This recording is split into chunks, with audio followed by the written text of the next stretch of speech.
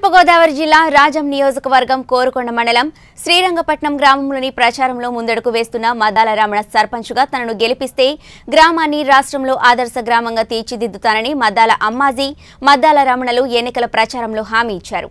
ఈ సందర్భంగా మద్దాల రమణ మీడియాతో మాట్లాడుతూ రాజం నియోజకవర్గ ఎమ్మెల్యే జక్కంపూడి రాజా కుటుంబ సభ్యుల అండదండలతో గ్రామస్తులు ప్రోత్సాహంతో తన సతీమణి మద్దాల అమ్మాజీని సర్పంచ్ అభ్యర్థిగా బలపరిచామన్నారు. గ్రామంలో ప్రజలకు ఎటువంటి సమస్య వచ్చినా ప్రభుత్వ సహకారం తీసుకుని ప్రజలకు న్యాయం చేయడానికి కృషి చేస్తానని గ్రామస్తులకు హామీ ఇచ్చారు. యువకులు వృద్ధులు పెద్దలు తమ అమూల్యమైన ఓటు ముద్రను కత్తెర గుర్తుకు వేసి అఖండ మెజారిటీతో గెలిపించాలని గ్రామస్తులను కోరారు.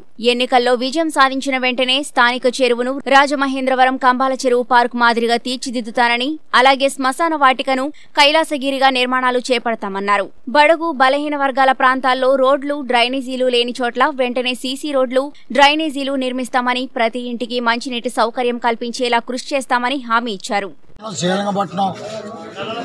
శ్రీరంగపట్నంలో పెద్దమ్మ చేరిన మా మిస్సెస్ని ప్రెసిడెంట్గా నిలబెట్టి గ్రామ గ్రామ నాయకులందరూ కలిసి ఆశీస్సులందరూ నాకు అందిస్తారని కోరి ప్రార్థించుకున్నాను. నాకు ఎలాగంటే శ్రీరంగపట్నం ఉన్న పెద్దలందరూ కలిసి నన్ను అర్జెంట్ మెజారిటీలో గెలిపిస్తారని వీరందరూ నాకు సహకారం చేసి నన్ను సత్యానందం గారు గ్రామస్తులందరూ కార్యకర్తలు నాకు చాలా కృషి చేసి జగ్గంపూడు రాజా గారికి అందరికీ మామూలుగా చెప్పి మేము రమణ గారిని గెలిపిస్తామని.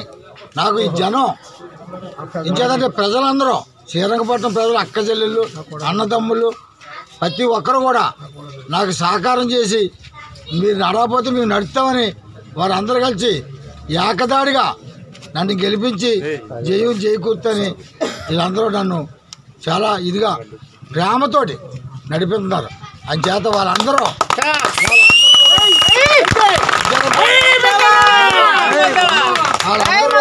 నేను గెలిపించిన తర్వాత ప్రతి అక్క చెల్లికి ప్రతి అన్నదమ్ములకి నేను సాయంగా తోడుగా వాళ్ళు ఎలాగుంటున్నా చెప్తే ఎలా చెప్తే అలాగా నిలబడతానని కోరి ప్రార్థించుకుంటూ ఈ అవకాశం ఇచ్చిన నా గ్రామ పెద్దలందరికీ నమస్కారం.